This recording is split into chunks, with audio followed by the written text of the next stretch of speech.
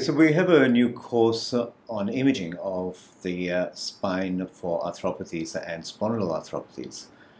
And this is a bit different to the other courses that we have, uh, which are on MSK of the joints and also spine, in that we have a clinician who's going to join us for the course. And that clinician is Dr. Joe Thomas. He is a senior consultant rheumatologist who's got a very strong interest in imaging and will join us to give us the clinical aspects that we as radiologists need to know uh, in order to better assess a scan and then also put out a, a, better report that the rheumatologist actually wants to see. So why Dr. Joe? All right, so Joe and I met about five years ago. He came to one of our courses in Abu Dhabi and subsequently has done every other course. And he's got a big interest in imaging and we've collaborated a, a fair bit. And the reason for Joe to come in is that I think as radiologists, we generally don't learn enough about the important clinical aspects uh, of a condition that are required for us to assess the scan properly and then report it. The purpose is not to make radiologists into rheumatologists, it's really just to get that clinical aspect to know the important things that are required for us for our assessment of a scan and for reporting.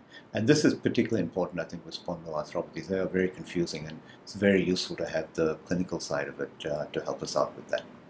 So, is this course for radiologists or for rheumatologists?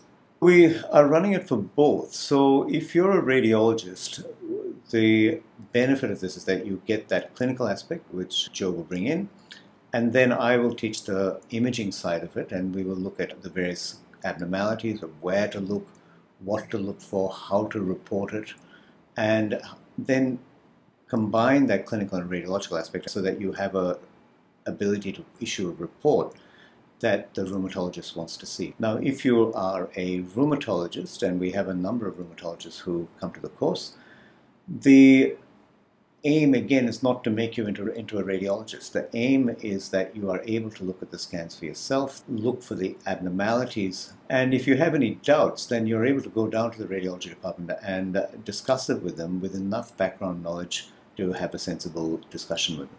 So, how does this collaboration between you and Dr. Joe play out? Yeah, so the content has been created by both of us. So, Joe has done the clinical aspect of it, and I've done all the imaging aspect of it. And we will both be answering questions. Now, all of our courses are guided, and I think this is an important thing in that most courses are not guided.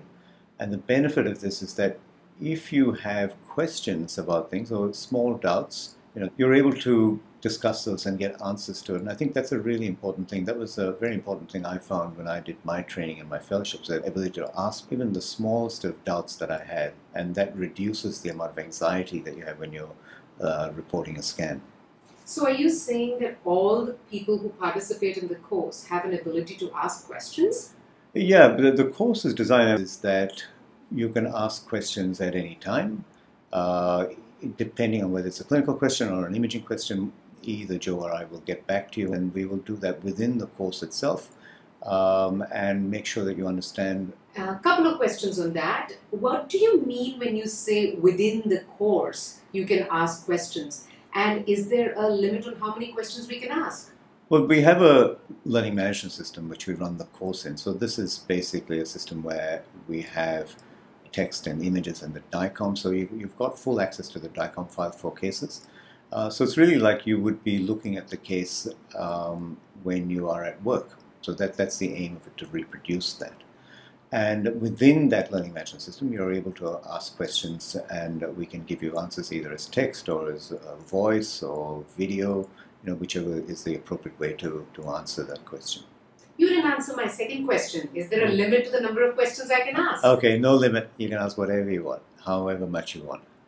Okay, so where can we find more information on this course? Yeah, so the course on a website. There's an agenda there. There's also registration, and there's an explanation of you know what the course involves.